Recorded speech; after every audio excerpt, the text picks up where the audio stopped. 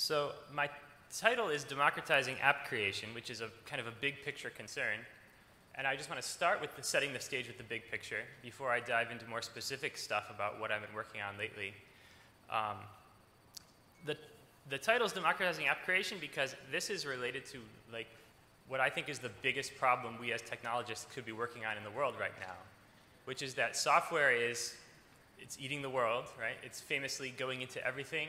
It's famously mediating all kinds of social relationships. More and more stuff runs software.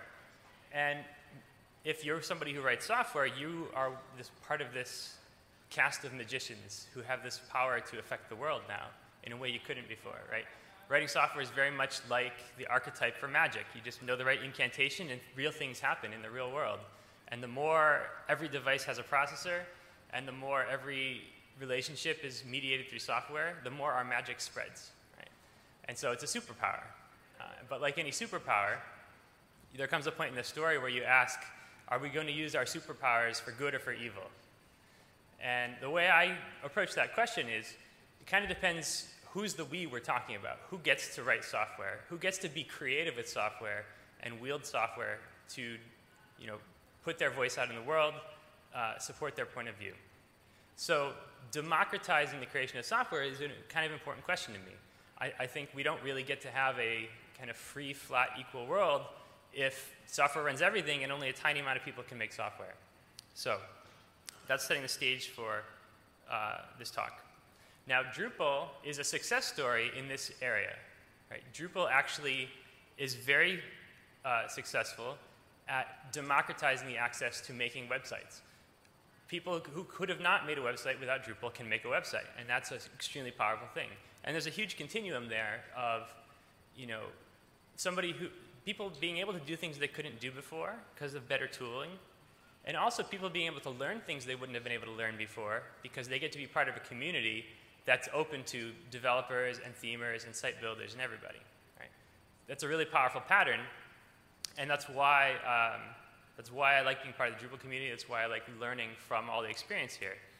Um, so at the same time, the, the web platform, right, mostly driven by the kind of explosion in how good the, uh, the JavaScript engines are and how good uh, the browser APIs are, has really taken off as an application runtime, right? So it's now possible to write the kind of things that you used to write as a desktop app or, or maybe as a native mobile app, right, all on the web.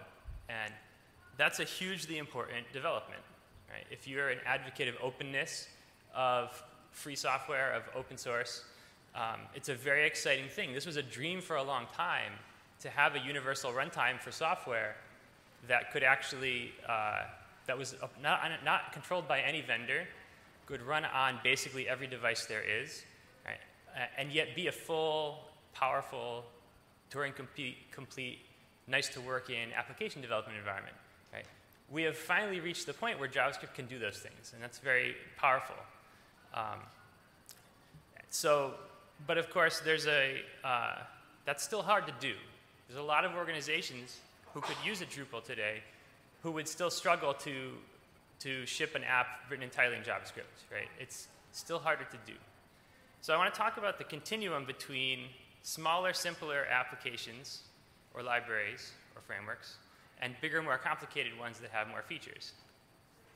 Any practical application has to do a lot of things, huge amount of things. If you stop and think for a second about authentication and authorization and rendering and storing data and getting that data back and third-party integrations and templating and schemas and it goes on and on and on. Validations, constraints, right? These are all things that almost every practical application is going to need um, and it's a giant pile, right? So if you start on the left end of this curve, which is where most new technologies have to start because they're simple and it takes a long time to grow more features, um, there's a big gap between a practical application and what you get out of the box, right? So if we think about a couple projects, I'm putting Drupal far on the right here because Drupal's actually got a lot of features. All those things I talked about are things you get with Drupal and Drupal's ecosystem. And, and I'm definitely talking here about whole ecosystems, not just like core projects. Right? So if you've got Drupal, Drupal is big and complicated and it has a huge amount of features and, and therefore it has a broad user base. Right? it does a lot out of the box, and that's hugely powerful. That gets us, connects to our story about who gets to write software, who gets to contribute, lots of people, because it does so much. Right? More features is generally better. Like, there's not really an argument. More features is better. It's just a question of how much they cost, and they take time to make, time to make well. If we think about some of Drupal's kind of cousins in the open source world, a WordPress or a Joomla, they're basically out in that same kind of end of the curve, of the way I'm looking at it, same end of the continuum. Maybe they're a little bit less complex, maybe they're a little bit less features, um, but they're all kind of close together in the scheme we're talking about here.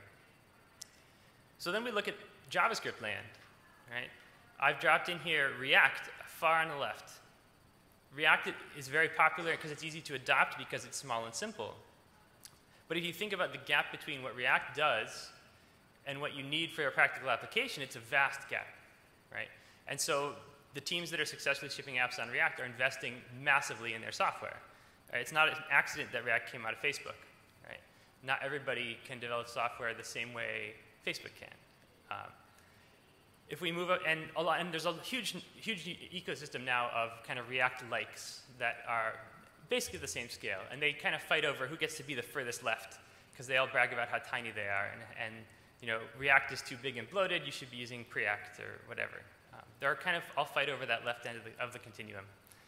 All right. Moving up to more features, a little more, more features, more complexity, we get to something like Angular. It does a lot more out of the box than React. It is a whole framework. It has opinions. All right. Moving a little further, we get to Ember. Ember is what I know best. That's the community I come out of. Um, among the JavaScript frameworks, we've long been the most opinionated with the most features, and therefore the most complexity. Um, but there's still quite a gap between what an Ember gives, what Ember gives you out of the box and what, say, WordPress gives you out of the box, right?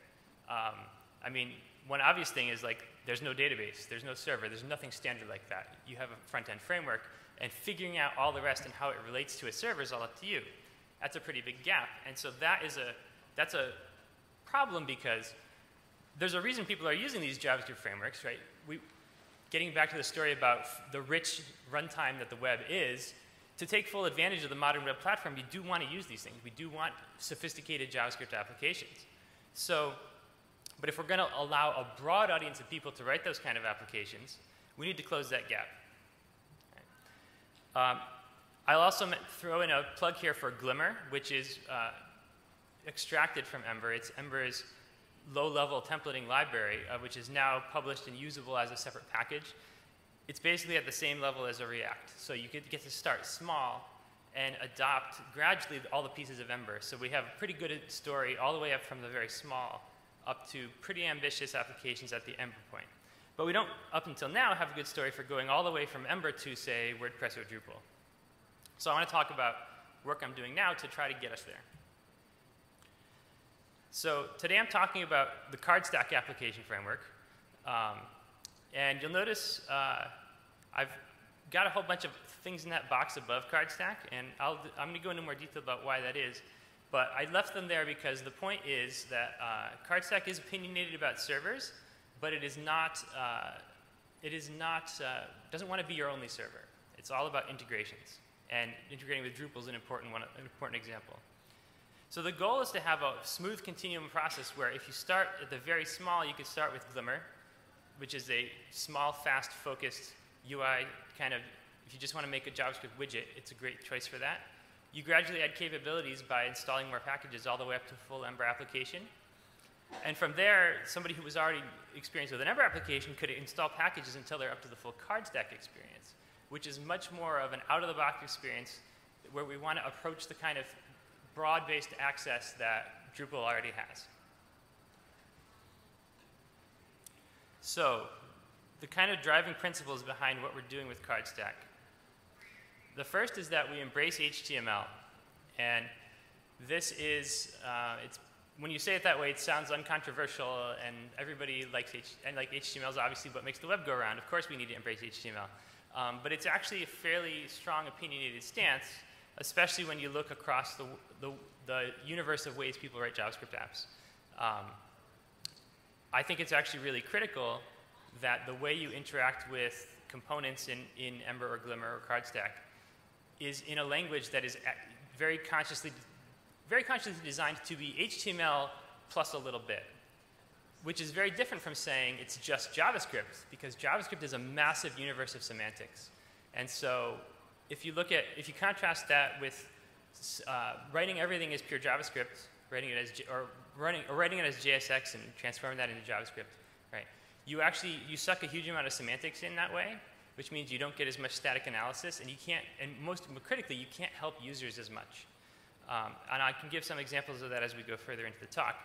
Um, but basically, this is an example of the principle of least power.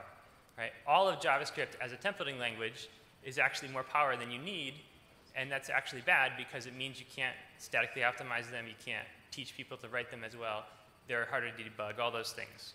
Um, the second, second principle is that uh, CardStack taps into the deep Ember add-on ecosystem. Uh, that's why it's built on Ember, and it's because in that earlier slide you saw Ember was kind of the furthest to, right, to the right among the JavaScript frameworks, the furthest toward the more standardization, more features set. Um, you, it turns out you need that, right? I think anybody who's worked with Drupal understands the importance of Drupal modules and understands the importance of API boundaries, pluggability, standardization. Um, you can't build something like Drupal without that. And you can't build something like CardStack without that. So we needed a framework and a community that actually buys into the idea of standards. That's why it's all built on top of Ember. And lastly, the thing that's unique about the CardStack architecture is that it coexists with the data sources you already have. And certainly for a Drupal audience, one of the most relevant examples of that is that um, it coexists very nicely with Drupal, right? So th this is important for a whole number of reasons, um, but most, mostly it's because every practical application that's going to deliver a lot of value to people almost always needs access to some data that's already out there, right? Starting from a blank slate is a very rare thing, and a lot of times, even projects that do start from a blank slate they do it because it was too hard to start from the data they had. So they kind of had to duplicate or throw away.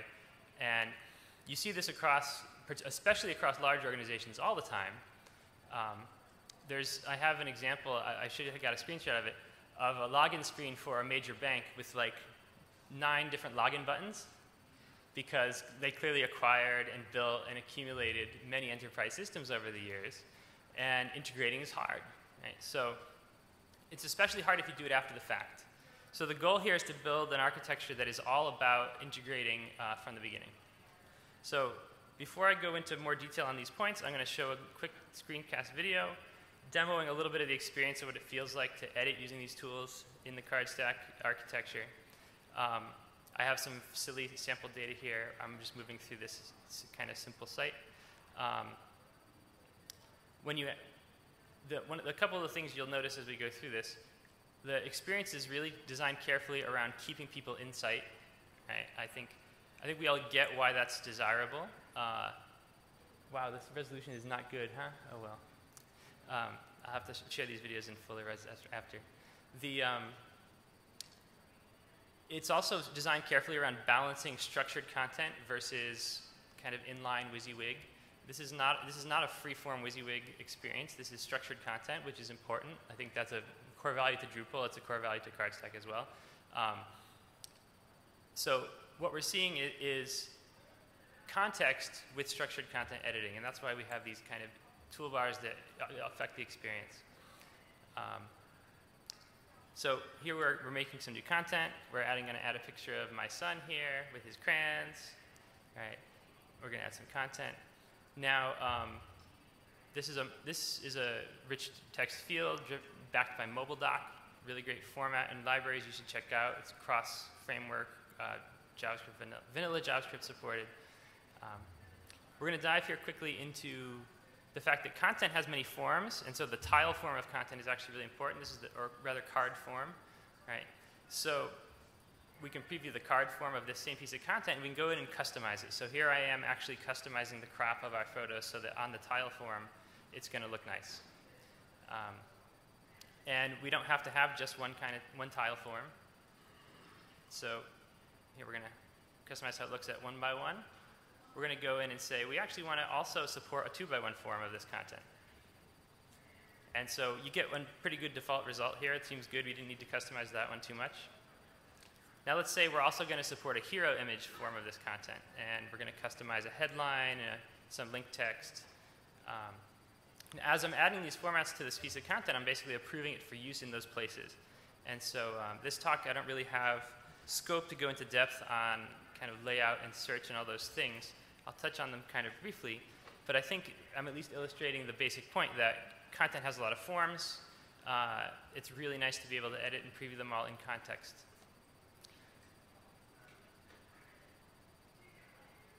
Okay. And then lastly, I'm just going to show here that we can go into our editorial controls, approve it for use on the home page, mark it published, hit save, and we'll find it back as our current uh, hero image on our homepage. Uh, basically, because like, this homepage happens to be set up with the newest, newest content wins. So, um, so that's, that's to give you a taste of the kind of experiences that we're building with these tools.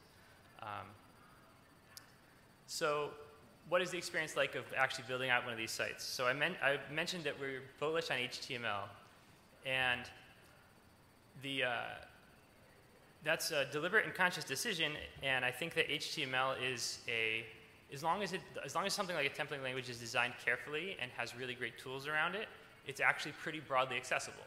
Um, and so in CardStack today, the way you actually uh, determine the field order, for example, is literally by going to a template like this one and moving things around. Um, and so having good tooling support for that is the kind of thing we continue to invest in.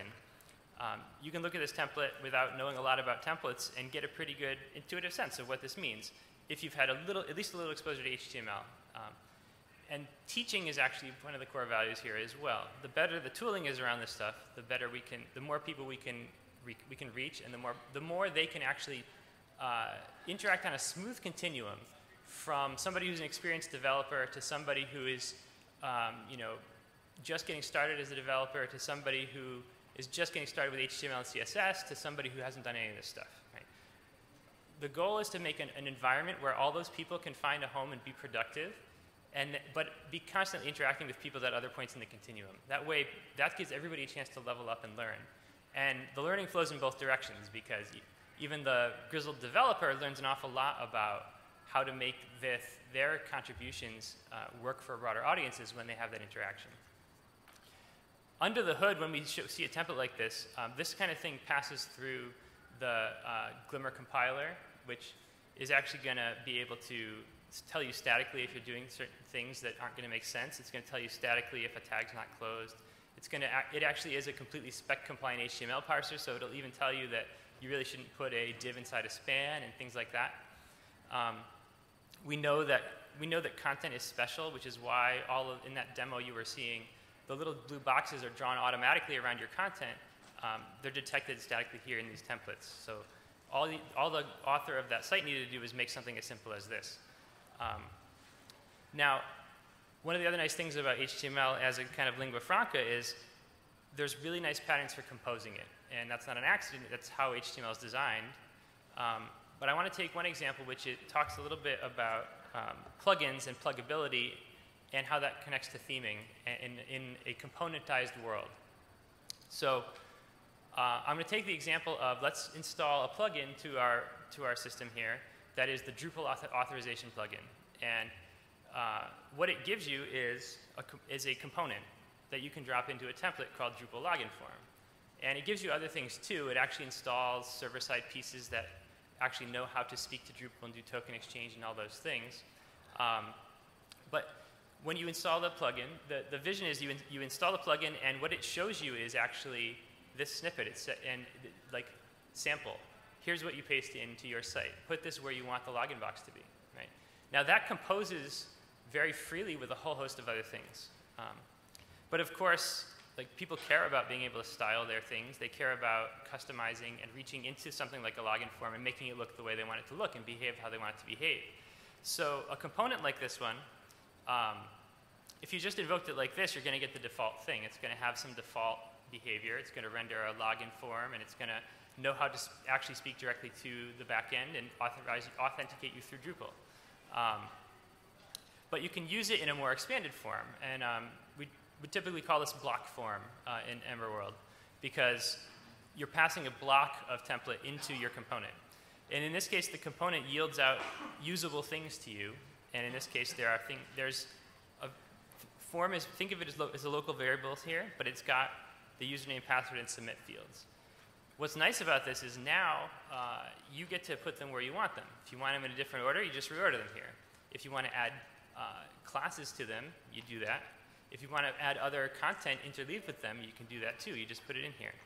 And more importantly, if you're, uh, when you want to install a theme with a certain look and feel and layout behaviors, that theme is also just giving you components, and they can compose as well. So in this example, if we wanted our submit to actually be using some fancy button that comes out of a theme package, right, we can expand again and use our form. Uh, our submit component can actually, instead of rendering its own default layout, can be purely behavior. It gives us an action, and we could now render a, something like a button uh, directly and compose them, right? So these kind of composition patterns are extremely powerful, um, and my contention is that with good tooling, with good teaching, and systems that are carefully designed, this is a fairly accessible experience. It, that's not to underestimate the teaching involved to get to someone to the point where they feel comfortable with this kind of templating system. But it's a much broader set of people we can reach than if you say just like write an app in JavaScript. Right? Um, some of the nice things here are that all the data flow, um, all the behavior can, is basically fully statically, statically analyzable by the compiler. So we get to give people a lot of feedback. Um, so I want to touch briefly on, on the, some of the time I have here on like what is this architecture I'm talking about? How does this stuff work under the hood? Um, so I want to touch on the kind of server-side pieces you need to do this kind of experience. So if we think about the continuum of complexity up from very simple JavaScript libraries to a framework like Ember, which is pretty comprehensive but all in the browser and has no opinions about the server, up to what we want to build here for CardStack, um, it's clear that you need server-side pieces.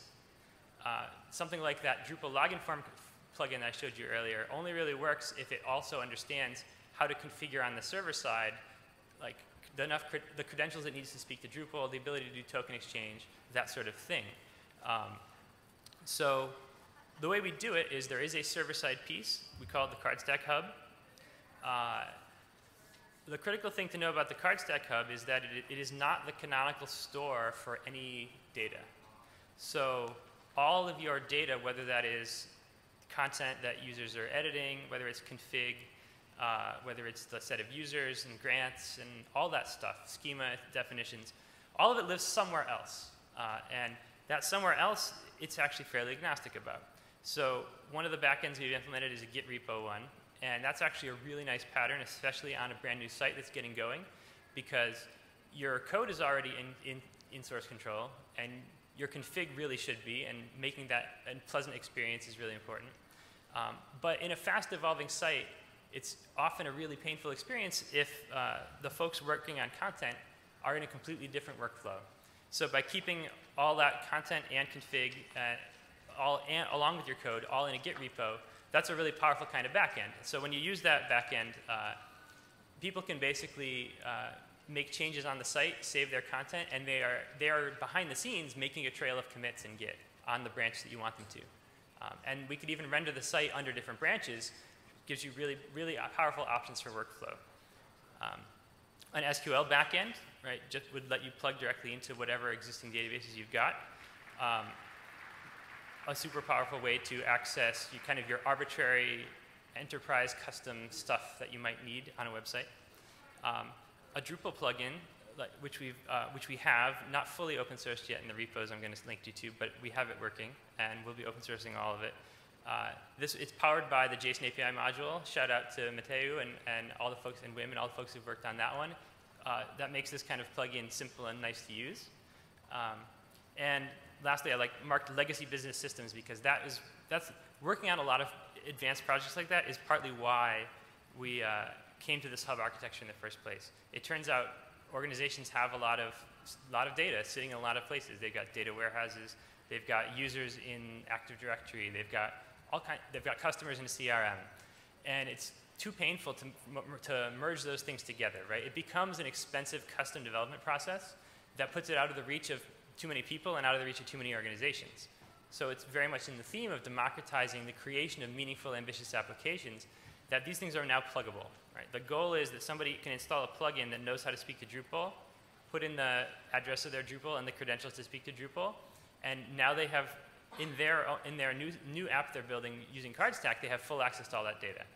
Um, it, it, it's completely first class. There's, because there's no database of its own in, in the hub, um, the data from Drupal or the data from Git, they're all equal citizens among the data. There's, it's not like uh, many of the integrations where that you would do in a, in, a, in a server that has its own database, where the stuff that's not in that database is not really first class. Right? We don't have that problem.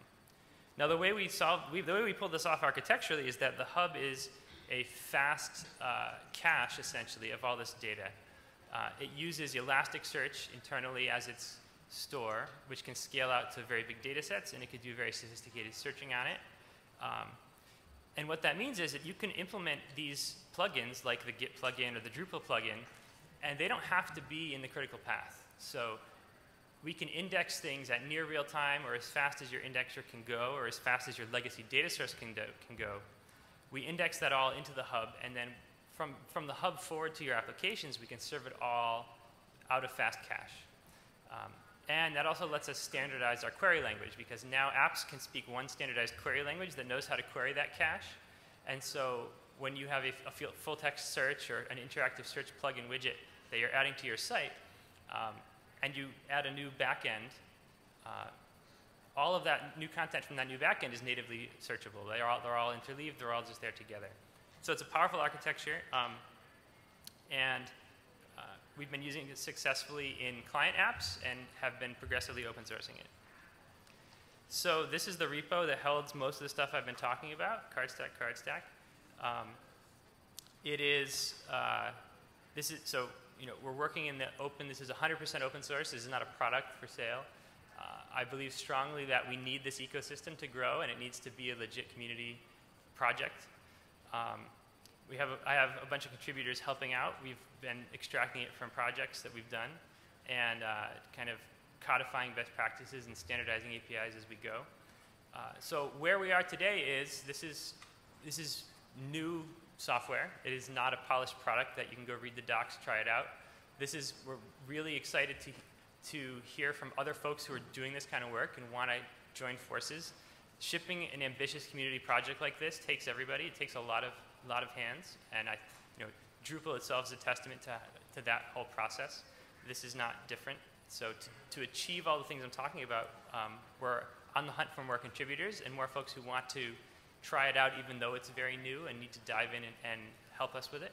Um, and also just organizations who think they can use this. If you've got a project that you can use this on, um, come talk to me and we can figure out ways to uh, figure out where the current gaps are and what you would need and what we've already got and how to close them together. So, so the, that's the pitch. The pitch is let's, let's get a broader set of people empowered to actually ship really ambitious applications uh, on the open web platform uh, so that everybody gets to build great software. And that is all the time I have. So um, I'm going to stop there. And I'm going to let uh, Taylor get set up. So instead of taking questions live, maybe, actually maybe I can just come down while he gets all plugged in. And, uh, and then when he starts, we can go and uh, folks can get me after the, afterwards and we can uh, take questions offline. Thank you.